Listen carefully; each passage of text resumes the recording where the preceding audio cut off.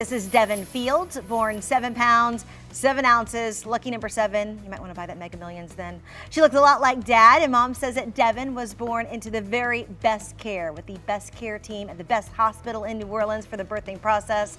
So, congratulations to New Orleans and welcome uh, to the family, really, and welcome to New Orleans.